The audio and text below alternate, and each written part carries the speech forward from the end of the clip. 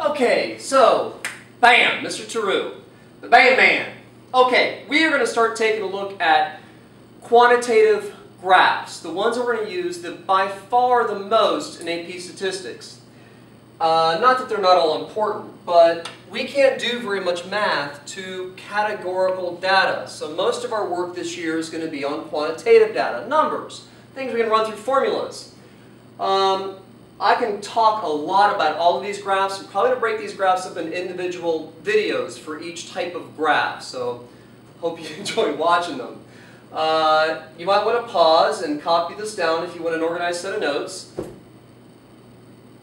Okay, so um, I think you get the pause button by then.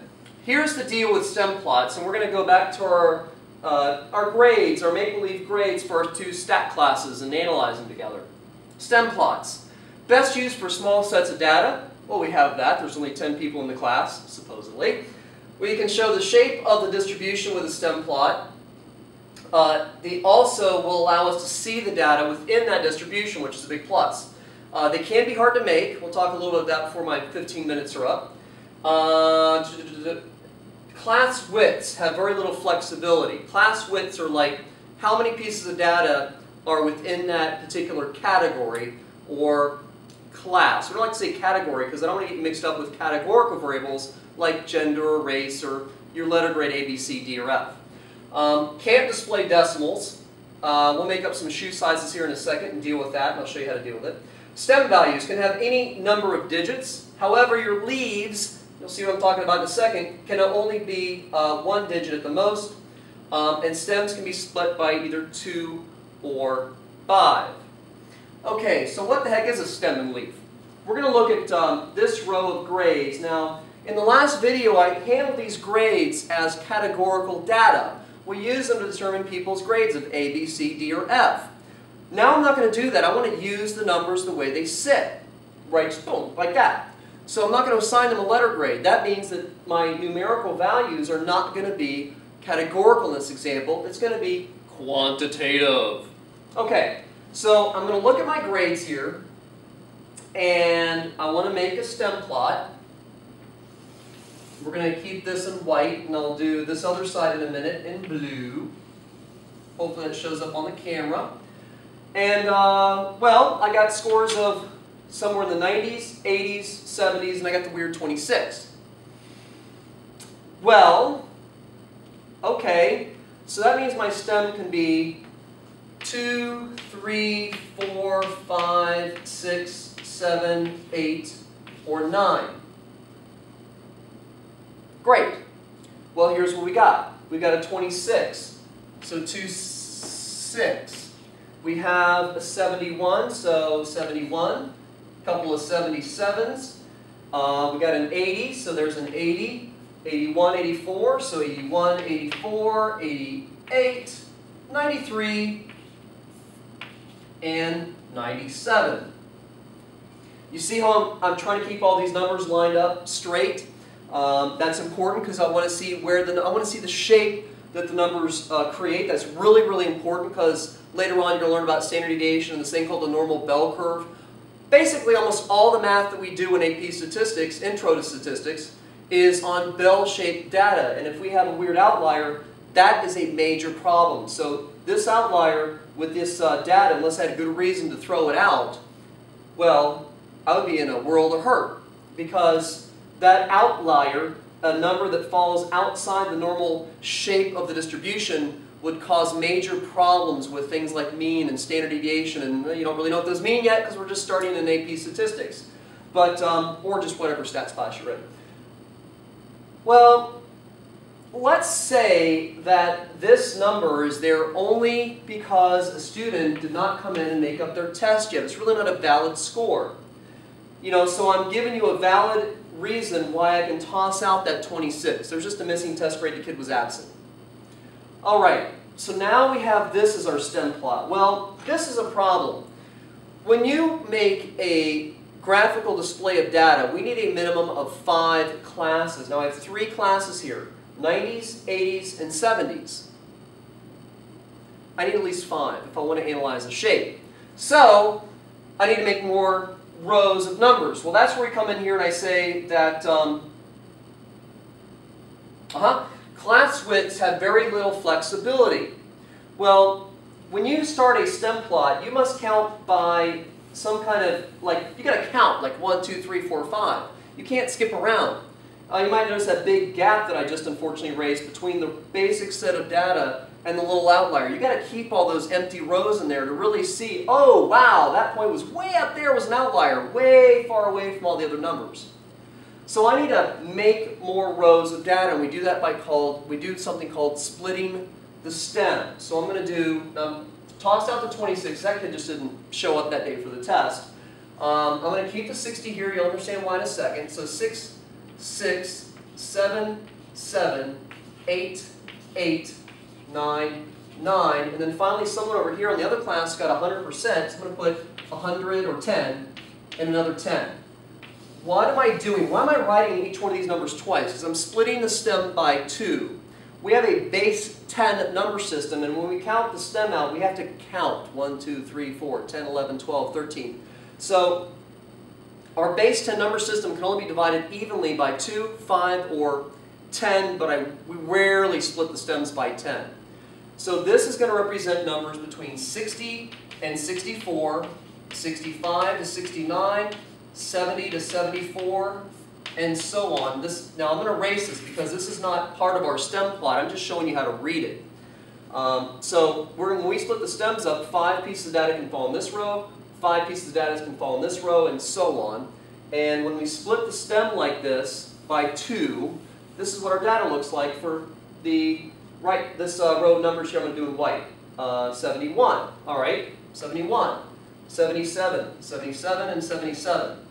80, 81, 84, 88. Now this is 80 to 84, so 88 goes down here. 88, 93, and finally 97. Stem plot, fairly symmetric. Peak is in the middle. Uh, I'm not going to talk about describing distribution today, though. That's a whole other lesson. I want to make a back-to-back -back stem plot. This is a good uh, use of stem plots. It allows you to compare multiple distributions if they're small sets of data. If they're really big sets of data, it's going to look like a matrix with just numbers flying all over the place. So for the right-hand side, we have a low of 65, so it goes here. Um, 71, 79, 81, 84, 86, 89, 91, 95, and finally 100.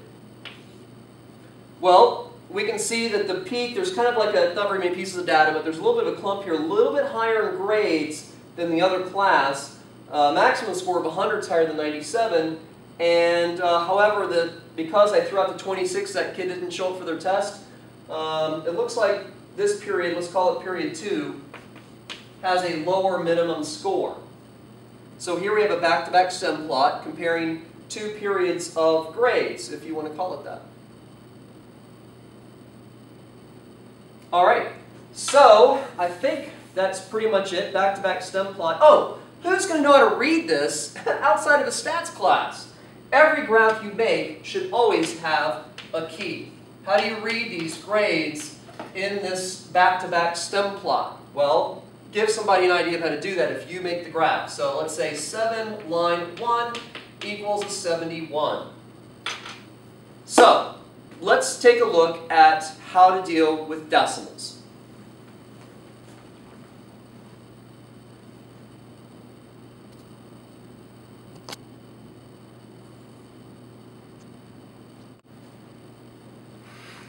Okay, so I stopped just to make sure I was going to stand on my 15 minute uh, limit for YouTube, and I also took the time to write out some shoe sizes. Now we buy shoes by the, you know, half size, 10, 10 and a half, 8, whatever. So I got some numbers here, and they're all in decimals. How am I going to display these shoe sizes in a stem plot if I'm not able to show a decimal? Well, one way I can do that is just drop them. Um, just drop all the point fives. Well, what if they're six and a half? Like, you know, do you round it up to seven? Well, you can. You can round all these up. Or you can go through here And I'm not going to write this with every single one of these numbers, but let's just say I came through and I multiplied all those numbers by 10. Well, if you multiply a number by 10, you know, it moves a decimal place over one place. And I only have one decimal anywhere there even is one. It's only going to the 10th place. So if I multiply all those values by 10, okay, I will move the decimal, that becomes 65, 65, 70, 70, 7.5, becomes 75, 75. Um, all these decimals are going away. I'm multiplying by 10, so the size 8 becomes an 80, 90, 90. Uh, you have a size of 10, so it's 100, 110, 110, 120, 130. So now I have my, I have these numbers that used to be shoe sizes, but now they're not. But we're going to, with the use of a key, let somebody know how to read our stem plot so that they know that if it says 110, it's really 11.0 or a size 11 shoe. Well, I just got rid of all my decimals, so guess what? I'm going to make a graph. So, my stem is going to be, okay, I got my last right-hand digit are my leaves. So my stem then starts at 6 and goes to 13. So 6, 7, 8, 9, 10, 11, 12, 13. Always with a title, so this is just shoe sizes that I've looked at. And what do I have? 65. 65. I got two 70s um, two 75s. I got an 80, a couple 90s, a couple 95s. I've got uh, 100, 105, 110, a couple 110s. Keeping my numbers all nice and lined up nice so I can see the shape as well as just putting the numbers down. I mean, if I don't see the shape, it's, it's all pointless. I got 120 and 130. So this is just one example of how to take data that has decimals and display it in a stem plot. You can round off those decimals, you can multiply by 10 or 100 um, with those values, or just round them off. Did I say that? Okay, so we have a stem plot uh, showing the distribution of shoe sizes that I just you know happen to make up. And again, with the graph, you do need a key. So 8 line 0 represents a shoe size of 8.0. If you have data that has a very wide range, maybe the smallest number is 20 and the highest number is 540, you might need to just drop off the uh, single digits, the ones digits, and just look at the hundreds and tens place. They can be really a challenge trying to figure out how to manipulate the data to have a decent picture, which is why we prefer histograms. But don't skip those stem plots in your book. Ask your teacher. Get some help if, they find, if you find them to be confusing. And they certainly can be. But stem plots show shape. They show data. They're very good for small sets of data. They're good in your in your back-to-back -back design for comparing distributions. But let's move on to bar. Uh, let's move on to histograms. Woo!